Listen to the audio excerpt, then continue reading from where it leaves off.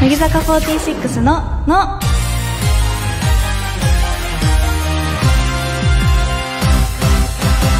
乃木乃木坂46の筒井あゆめです。文化放送からお送りしている乃木坂46のの。第460回が始まりました。最近嬉しいことがありましてあの私タクシーの運転手さんとお話をしたいってのがずっとあったんですね。で名古屋に地元にいる時はタクシー乗る機会もなくってその夢は叶わず東京来てちょくちょく乗る機会があったんですけどなかなか話しかけてくれるタクシーの運転手さんと出会わず過ごしてたらあの前に話しかけられたというかお話できましてそれがすごく嬉しくて忘れ物アナウンスが届いたんですけどそこでお話の流れになってあこういう忘れ物する方いらっしゃるんですねっていうのを声をかけてくださってでそれで「ああそうなんですね」って言ってでそのタクシーの運転手さんの後輩の方の忘れ物トークを聞かせてくれておばあちゃんが手押し車を忘れたっていう。しかもなんか2回もあったらしくて。でもそのおばあちゃんどうやって書いたんだろうっていう。あのおばあちゃん好きなのでちょっと心配になっちゃったんですけどそれが最近の嬉しかった出来事で東京に来て乃木坂のメンバーとかお仕事に関わる大人の皆さんとお話しすることが主なのでなんか全然知らない界隈のお話とかもすごい興味があってなんか喫茶店行っておばあちゃんと仲良くなれないかなとか思いながら喫茶店行ってるのでタクシーの運転手さんにお話できてすごく嬉しかったですっていうお話です。今日登場するメンバーは3期生の坂口珠美さんです。私との共通点があると伺っています。どんなことなんでしょうか？楽しみです。ラジオの前の皆さんも乃木のの一緒に盛り上げてください。ツイッターで番組公式ハッシュタグをつけてつぶやいてくれると嬉しいです。番組の公式ハッシュタグは乃木のの漢字で乃木ひらがなでののでお願いします。タグをつけてつぶやけば今この時間を共有している人を見つけられます。番組の公式アカウントもあるのでぜひフォローしてください。文化放送キーステーションに10曲ネットでお送りする乃木坂46のの。最後までお楽しみください。乃木坂46のの。文化放送をキーステーションに筒井あゆめの MC でお送りしている乃木坂46のの今日一緒にお届けするのは乃木坂口珠美です。お願いします。お願いします。早速なんですけど、はい。珠美さんは私との共通点があると聞きましたが、はい。どんなことなんですか、えっと好きなうん。ものがはい。一緒なのかもしれない 気がするかないんですね。勝手に思ってて。はいなんかあやめちゃんがよく着てるお洋服のブランドとか、ね。あんまりはい。すごいみんなが着てるようなところじゃないけど、着ててあそこ気になってたんだって勝手に思ってたり、ありましたよね。あの話しかけてくださって。そう好きだよねあそこのブランド。っていう。急にねそんな話をしちゃって。出演しましたよね、確かにちょっとマイナーめなそうそうそう。ブランドだったから嬉しかったです。たまも嬉しくて、うん。あと映画も、ね、わかりますそれそもう。話しかけてくそう。れてあれ好きなの？って聞いて、喫茶店とかもたまも好きだから、えー、そうだったんですねちょっと一緒なのかなと思って、えー、一緒かも。ね今度行きましょう。え行きましょう。最近どんな音楽聴いてます？最近？ウェイウェイっていう。ウェイウェイ。なるほど。バンドとかですか？踊る人の。踊る人の。あなるほどなんか探したいんですよね共通点を、うん。じゃあお休みの日は何してますか？お休みの日はカフェ巡りしてます。ああしてますしてます。してます。はい。お なんか SNS でうん。東京カフェって調べて気になったところ巡ったりしてます。原宿カフェ。えわかります？表参道カフェ。わかります。あ一緒。一緒。嬉しい。行きましょう。行きましょうぜひ、ああの4期生と交流ってありますか、えー、全然緊張しちゃって、はい。てかいまだに緊張してなかなか話せないんですけど、はい。でもこの間お仕事でまゆちゃんとうん。あと佐藤楓ちゃんと、はい。福岡と岐阜に行って、はい。一緒にお泊まりもしました、えー、ねあれですよねアルバムのポそうそうそう。スターキャンペーン。そう。楽しかったですか？楽しかったです。いいな。初めてメンバーと温泉はい。入ったりして、へー。恥ずかしいあははってなってました。飲みながら入ったんですか？えー、何をお話しするんですか？えー、でもタマさんって呼ばれててう、ん。なんか何でも結構同期みたいにヘラヘラ話してへえ確かにまやちゃんってなんかコミュニケーション能力ました高いですよね。うん高い高い高い。羨ましい。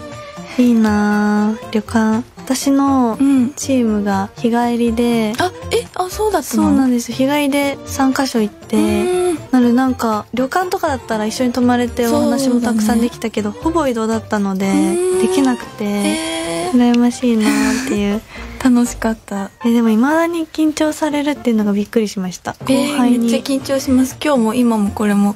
緊張する。えー、そうなんです、ね、ってなっちゃう。やだー。でもなんかえ なんかノリとかがもしかしたら合うんじゃないかなっていうのが嬉しい。思ってたので、うん。ちょっと今日はなんかそれもノリ合うねっていうのを見つけられたらね。嬉しいです、そうですね。はいあとうん。冬の寒さが厳しい季節ですけどはい。天海さんは冬得意ですか？たまみはあでも夏より全然冬派です。あ同じです。イルミネーションとか。そうなの。えー、行かれました？去年。いっぱい行きました、えー、去年はなんかすごい冬の季節をすごい感じられました、ああそれはいいことですね。私はもう逆に、クリスマス全然なんかクリスマス感がなくて、えー、でもクリスマスマーケットには行ってるんですよ。ああ行った。たまも行った、どこので行きました？えっとね横浜の行った。赤レンガ。イエスえー、イエ どこ行ったの？そう私は日比谷です。あーあそっち行きたかった。えー、赤レンガ行きたかったです。あそうなの？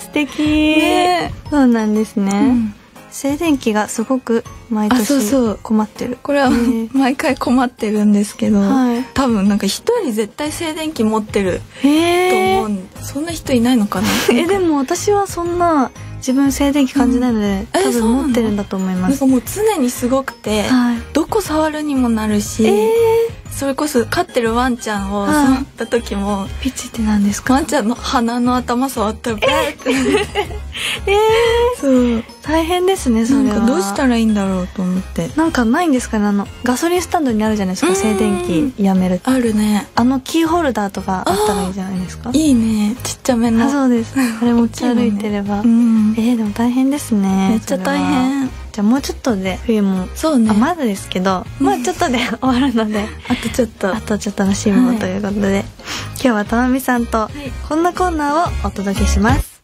あるあるアルティメットリーグ。自由にお題を考えて自由にネタを考えられるという究極のあるあるネタコーナー。2人がそれぞれ点数を出してその合計点が一番高かった人に私たちからメッセージを送りますそれでは1つ目のあるあるを紹介します、ラジオネームマーシー毎日マイペースさんからいただいた魚の絵を描くときあるある。無意識に頭を左側にして描いてしまう。ということではい。点数決まりましたか？はい。えこれ何点満点とかあるんです？ないんですよ。ああもう無限大です。オッケーでは一つ目のあるある指数をお願いします。はい。あるある指数はゼロあるあるです。ゼロそうなんですね。そうなんです。私のはい。つつやめのあるあるは150あるあるです。おー。すごい。本当ですえか本当にこれたまみ的なあるある指数。あそうですそうです。よね。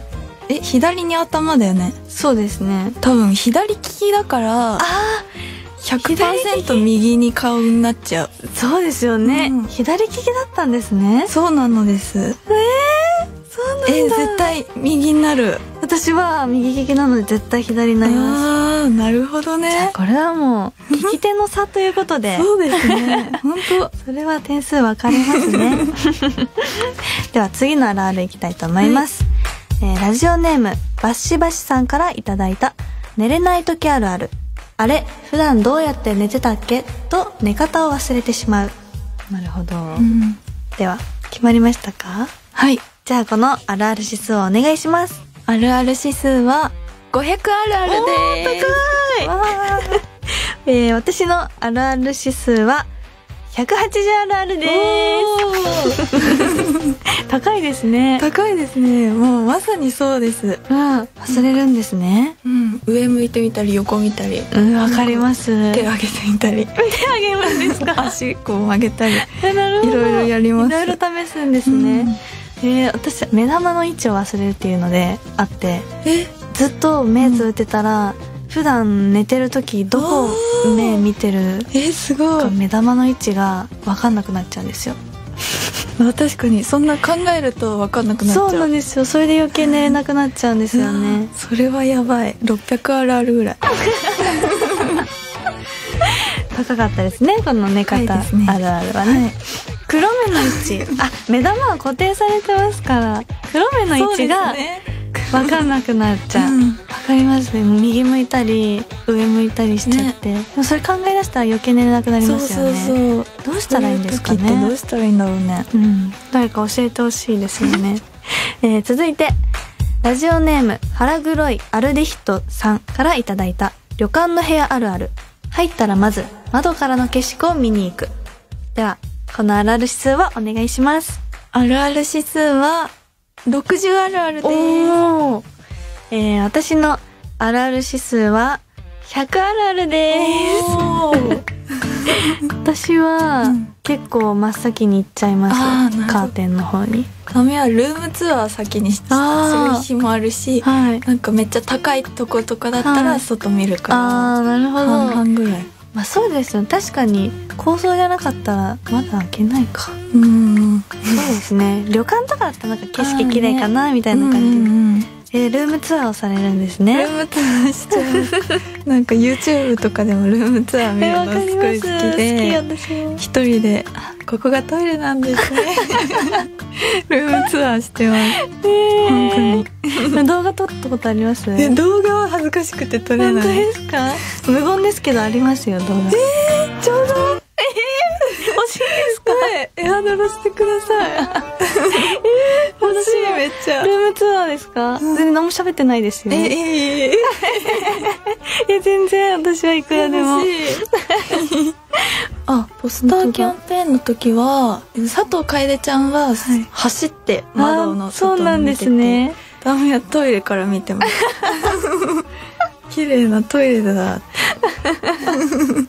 なるほど、、はいいですねということで合計点数が出たので発表します。はい。今回あるある指数が一番高かったのは合計680点の寝れない時あるあるを送ってくださったラジオネームバッシバシさんです。おめでとうございます。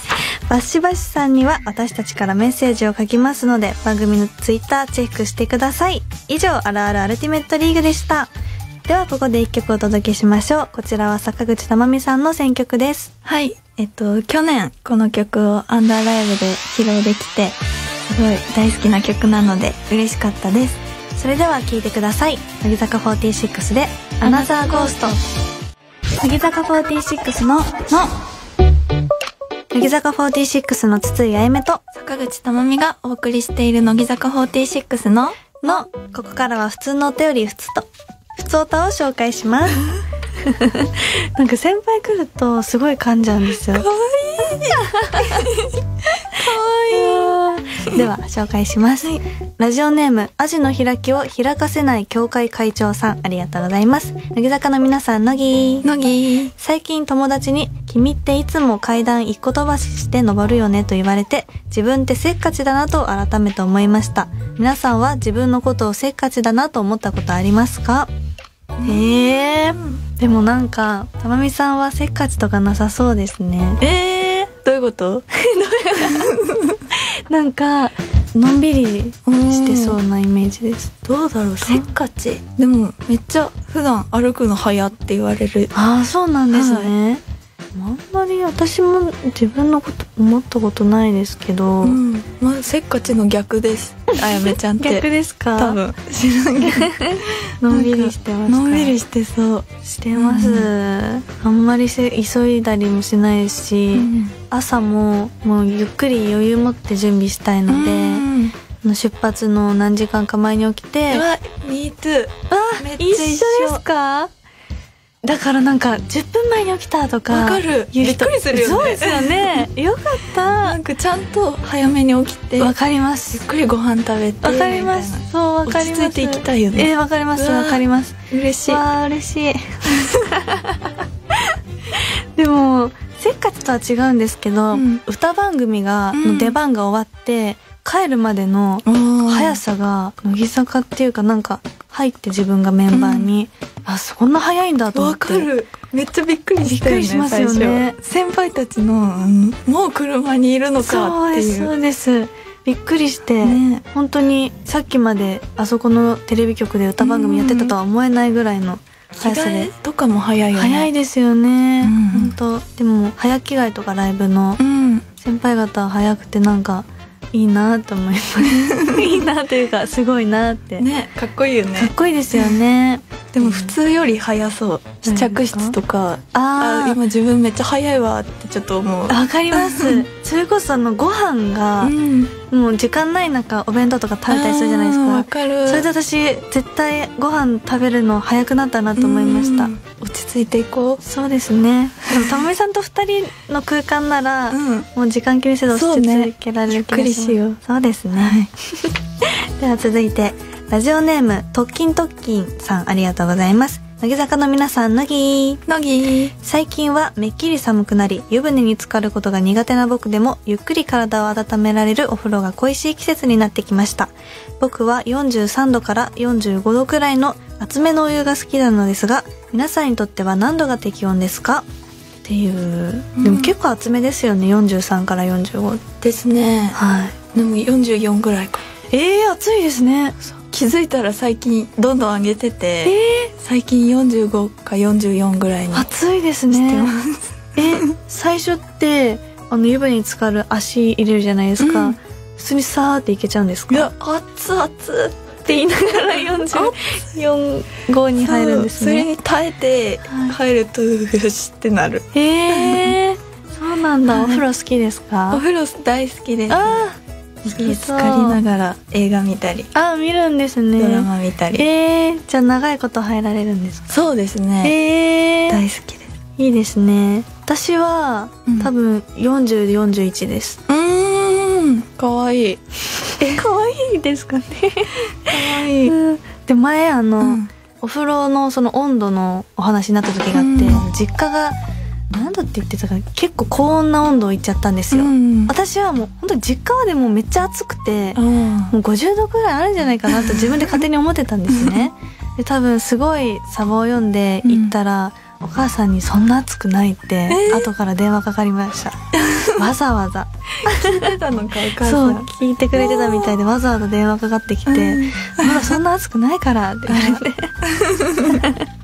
かわいい。そうなんですよ私はそんなお風呂は長く入れないので、えー、いつもぬるめのお湯に使ってます。どれぐらい？何分ぐらい？えーでも長くて15分です。うーん。5分ぐらいでいつも出ちゃいます。あそうなんだ。そう。なんですだから羨ましいです、えー、じゃあ続いてラジオネーム三度の飯より白米様さん。ありがとうございます。乃木坂の皆さん乃木。乃木。東京ドーム公演お疲れ様でした。うん。ちょっと前ですね、はい。ありがとうございますソロで歌い継ぐきっかけなどたくさんの感動をもらいました。東京ドームといえばよく東京ドーム何個分という例えを目にしますが僕はあまりピンときません。皆さんはこの例え分かりづらくないというものありますか？確かに分かんないですよわかんないねですよね。でもテニスコート何個分も私は分かんうないです。わーそれな分かんないですよわねやらややったことないもん。ですよね。ダンスの振り付けでこんなに例えにされる。なんだろう。でも割と分かりやすい擬音とかでうん。ピッピッシャーみたいな、うんかみたいな。そう。そうですね。でも踊ってても結構そのダンスの先生の癖のある言い方がうん。結構頭に残っちゃって、わかります。逆に覚える。わかりますわかります。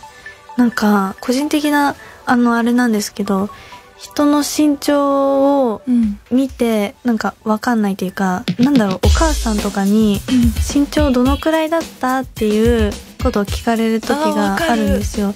でもどのくらいなんか目安もわかんなくてうんそれが何なんでしょうね。確かにパッと見てはい何センチって分かんないよね。わかんないですよねだからなんかその質問やめてほしいって。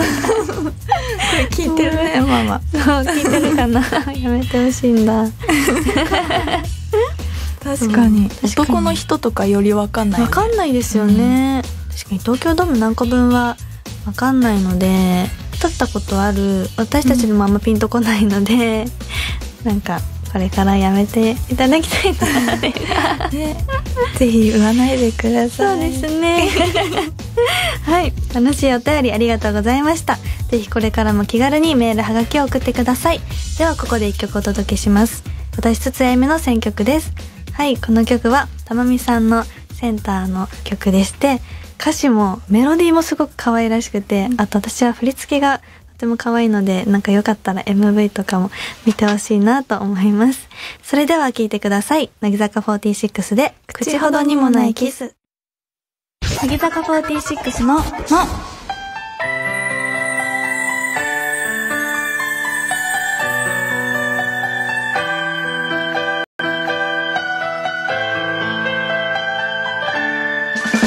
文化放送キーステーションにお送りしている乃木坂46のの。乃木坂46で平行線を聞きながらお別れの時間です。ありがとうございました。ありがとうございました。楽しかった。ね楽しかったです。なんかすごくうん。共通点もね。見つけられたし、うんなんだろう波長って言いますか、うん。なんか話しててすごく落ち着きました。あーたまみもあートになってました今手が。